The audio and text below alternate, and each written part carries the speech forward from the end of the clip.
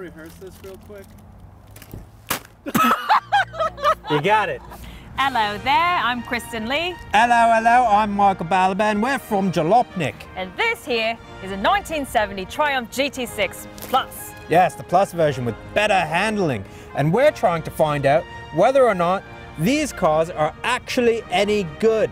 Or if they're only owned by people who like British things. Yes. No, let no, no Yeah, but I'm a person who likes British This is things. how I'm, they I'm- talk. I'm dressed in tweed and I have a bag of Walker's crisps.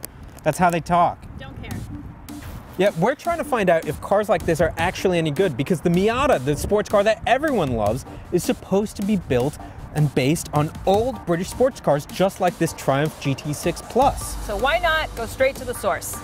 Now, if you look around it, it is quite a bit Britishly, would you say? A little bit. Um, I think one of my favorite features is how you can actually see these seams where it's like some guy. Yeah, you can see they welded it Just a bit. welded it. But the thing is, is that cars are not made like this nowadays. You know, straight six, rear-wheel drive, supposed to be not as hard-edged. Shall we lift the hood? Yeah. Oh yeah. There we go. There's not that much car. The engine is right here. You just reach your hand and oh, I like to adjust this or that or the suspension. It's all just right there because uh, we've heard that these are not that reliable. Maybe. Maybe this is worth it. Maybe people who like this don't just like British things and like working on things. Maybe it's actually fun to drive. We should go find that out. Yeah, I don't like standing here in a hotel parking lot. Okay, let's close ours up. This side is not down. Why is this Uh, side uh, that side's not. Uh, is that not? Is that just bang? Just push it. Just push it. Just latch it down. This too? Are you sure? No, that's not latched at That's all. not latched. This is the owner of the car. He's, There. Okay. I didn't want to. there we go. Okay. Yes. Okay. Now, now we can Aha! go. Now we can go. You drive.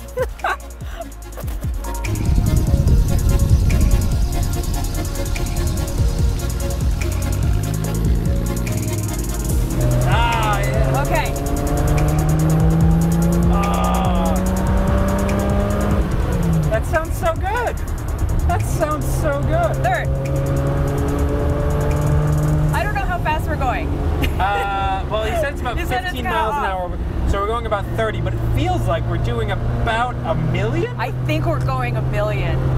So it's actually not that common to see any British sports car, especially not a modern British sports car, because what is like a Jaguar or everything. But there was a time when British sports cars were actually pretty popular, and there's a reason for that. You know, like after the Second World War, uh, England was financially destitute; it was destroyed. So the rallying cry became export or die.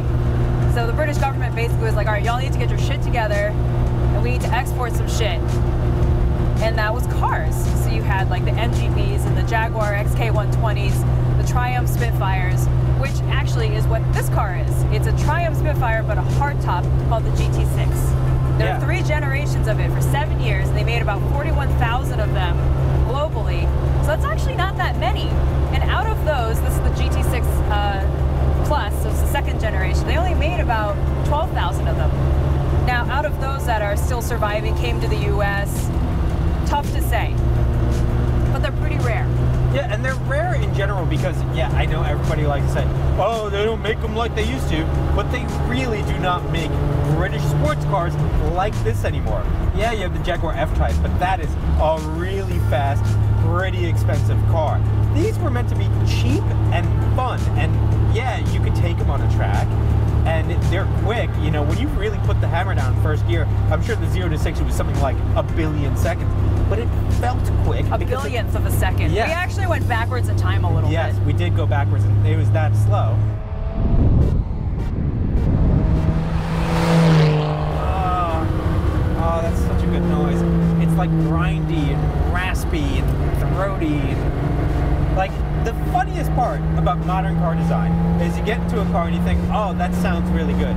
It's because someone designed it to sound really good, and in a lot of cases nowadays, it's actually piped in through the speakers, right? A fake noise is piped in through the speakers. This is just the way it sounds. This is just the way it sounds, and it's so good. It's a little like it's the difference between hearing a band on a cassette tape live in concert. You know, it's just such a much more real. They didn't even know how to disguise sounds. Then they could put some muffling. Yeah. They could put some muffling in, but overall, it's like, yeah, Yeah. this is the way it sounds. This is it. This is what you get. If you see a GT6, by the way, it's pretty rare. Like I said, they didn't make that many of them. And in fact, when they first, so basically the GT6 is the Spitfire with hardtop. Very And hard top. Extremely. yeah. But when they added all the hardtops and the fortifications, and everything, the car got too heavy for the Spitfire's original four-cylinder engine. So what they did was they put the two-liter straight six engine instead, made a little more power, and made it a lot more British, in my opinion.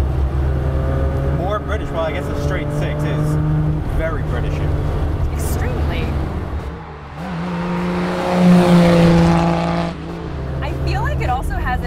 Amount of torque, but again, that could also just be the No, illusion. it feels like there is. It's- it's but you know mythical. I don't care. I don't care if it's illusion. I don't care if I'm being lied to.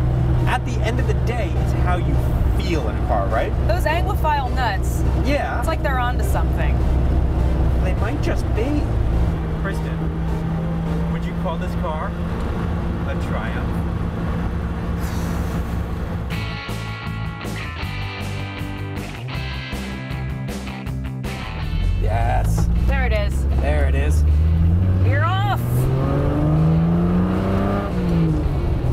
Like I'm in 1970 through driving through York? Is that what I look like right now? Absolutely. How good do I look? Do How I- good do I look? I, I mean, incredibly. I'm, I'm actually very impressed that you came with this gecko today. This car is ridiculous. When you go into a turn, you actually like lean into it. Do you see what I mean, though? That the steering's a little Yeah. Okay. play-y. There is quite a bit of play. I am moving the steering wheel, and the car is not moving at all when I do this. Yeah. I will concede that. This car, it's like a person, and then it talks to you and has a personality. It does not do what you want it to do all the time. It does it when know. it feels like Yeah, it. it, it, it has its own agenda. Right now, it just so happens that it wants to drive just like Right. us. We're doing an activity right now. We are doing a thing. Yeah. It's not where are you going, it's what are you doing. Yeah, let's hear the horn.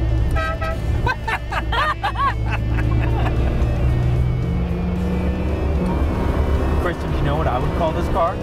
Don't, say- don't say Triumph. I'd call it a Triumph. Oh my god. Yeah! Well, we've just returned from our life changing journey, and it's true. The car is good. Yeah, you don't need to be a British weirdo and dress like a British weirdo and watch old timey episodes of Doctor Who on PBS to enjoy this car and to get what makes these cars so good. It's genuinely fun to drive, it's genuinely rewarding, and it's just bloody brilliant. Yeah, it's smashing. It's Brilliant. smashing, brilliant car. absolutely wonderful. Brilliant, chuffing, chuffing good. Jackson. Chuffing good, yeah. Just, Rude. car's pretty good though. It's Car's pretty good. Are you serious? You don't want to though. You're about to have lunch.